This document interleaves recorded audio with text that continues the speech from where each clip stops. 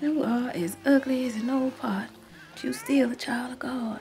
She ages, so I had to figure out what part of her body started to break down. Was it the knee? Was it the arm? Because she was a very physical woman. She she um she she took care of old people. She runs an old folks home in new orleans in the early 1900s so she's used to lifting over. So what about her body and where did it start to break down? So you could see a, a progression of that ailment.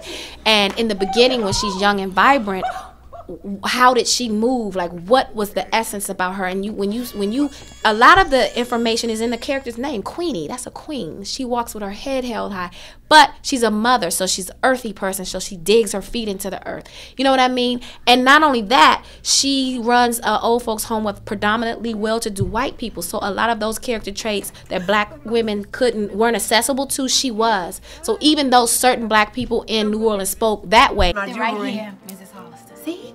Right around your pretty white neck. Now come on, hush all that noise. she spoke this way because these are the people that she lived with, you know. So of course she took on some of their character traits, you know. So I just love the process.